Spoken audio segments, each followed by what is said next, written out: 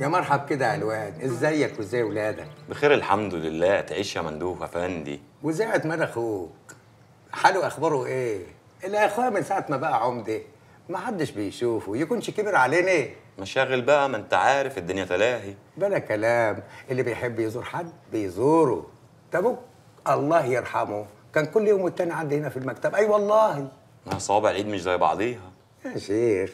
أبوك الله يرحمه لما أبوه مات ما كانش بيتقطع عن أصحابه وكان دايما يزورهم ويودهم وفي المواسم ما يقطعش خيره عنهم. إشي قمح إشي رز إشي بط إشي وز. هي دي الأخلاق اللي بصحيح أيوه والله. الله يرحمه ويجعل كله في ميزان حسناته قادر يا كريم. آمين يا رب العالمين. بلغني يا اخويا ان ربنا كرمك بمولود كده من قريب صح؟ أيوه صحيح. سبحان العطي الوهاب. وعملت له الفدو بقى بتاعه ولا لسه لا ما عملتهلوش. لا يا علوان لازم تعمله. وما تنسانيش بقى بطبق من الحلو اللي كده وتكتر لي عليه اللحمة. لحمة؟ أيوة. لا هو أنت لساك فاكر؟ ده الواد خلاص كبر وهنجوزه. ربنا يحفظك ويحفظه طب يا سيدي والخطوة العزيزة دي بقى جت فجأة كده ولا أنت اللي قصد تيجي تزورني؟ أنا يعني كنت جاي أسأل على حاجة كده. خير.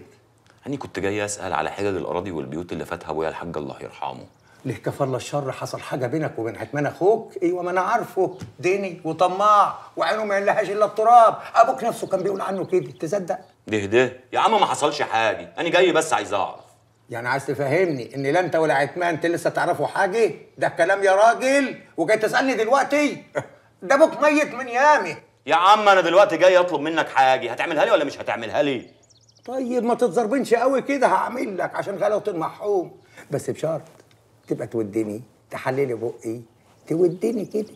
ماشي يا سيدي كل اللي تؤمر بيه. بس خلصني امال بقى الله لا يا يسيبك سيدي حاضر ما تتزربنش أنا نفسي أوعيك لأن حكاية الميراث دي بتعمل مصايب وخصوصا بين الإخوات وبعضيهم. أنا بنبهك أهو.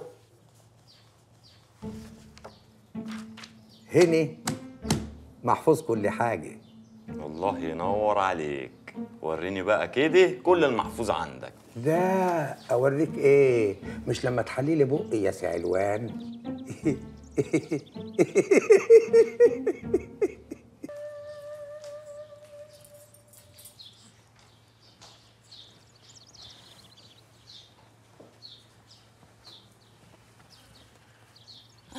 عملت إيه يا علوان؟ مش عتمان طلع كذاب. طب وإيه اللي جد عليك ولا عليا؟ المهم عرفت إزاي. ماني رحت المحكمة الشرعية وشفت الأوراق المسجله اللي تخص أراضي أبوي. يا واد يا واد ولقيت إيه بقى؟ لقيت إن المرحوم أبويا ما كتبش أي تهم بيعات لا العتمان ولا لغيره طب ماني عارفة ومتأكدة إنه كداب يعني أنا اللي مش عارف. اني بس مش عايز أقوم مشاكل بيني وبينه. قلت برضه أخويا الكبير ومصيره في يوم من الأيام يعقل ويديني حق إنما توصل للأهانة وقلة القيمة طب وناوي بقى تعمل إيه؟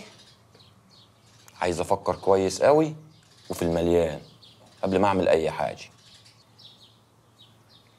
نفكر نفكر قوي وفي المليان كمان. طب مش تعرف الأول هتعمل إيه وإزاي؟ كده ما ينفعش يا أبو العيله الغفر والعساكر مالين كل حتة في البلد. أنا بس كنت عايز حنان. تروح تقول لفاطمة تقابلني عند المصرف القديم اللي في آخر البلد. أنا عارف سكة من يمة هناك لو مشينا فيها ساعة زمن وحدي هنخرج بره البلد. أيوه يا اخويا هي ساعة زمن واحدة والغفر والعساكر يكون حقوقه استنى لبكرة يا أبو العيلة أكون وضبت كل حاجة.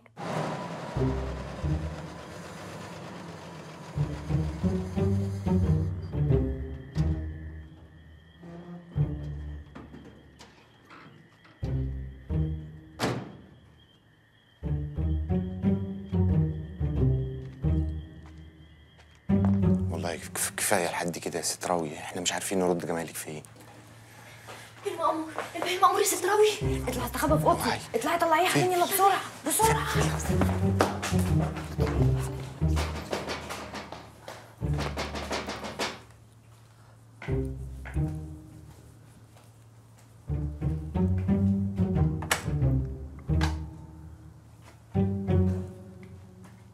يا أهلا يا أهلا.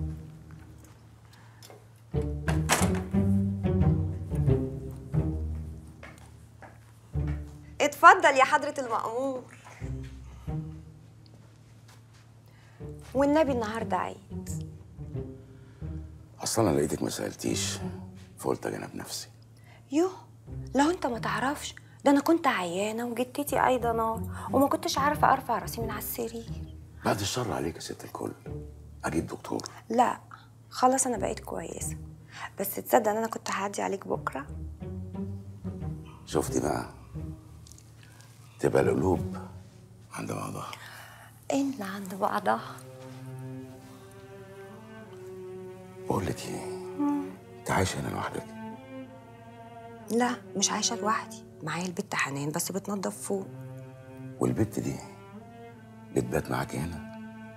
ليه؟ في حاجة؟ لا بسأل بس. أيوه بتبات. أصل أنا كنت عامل حسابي يعني إن إحنا نقعد قاعدة كده ونحكي. من غير إزعاج.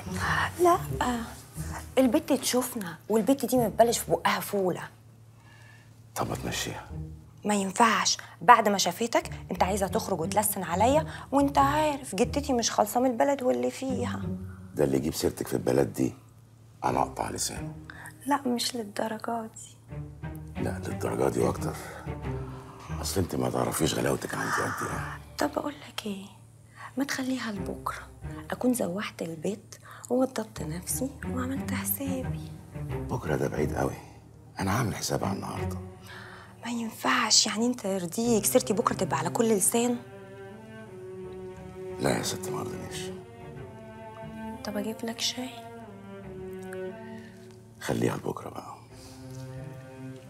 تصبح على خير.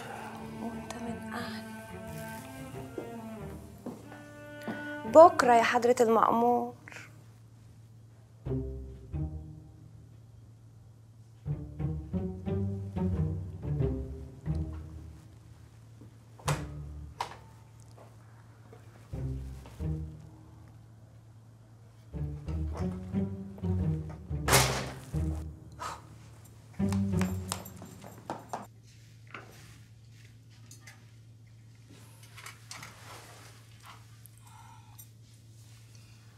مشي آه مش يبقى امشي استنى بس.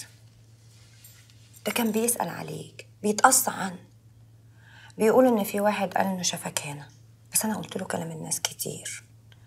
عشان كده يا أبو العلا مش هتعرف تخرج من هنا خالص اليومين دول. مش هخرج من هنا خالص إزاي يعني؟ هتني هني؟ على عليكي؟ يو وده اسمه كلام برضو. هو علي وبس. ده أنا هجيب لك مشاكل.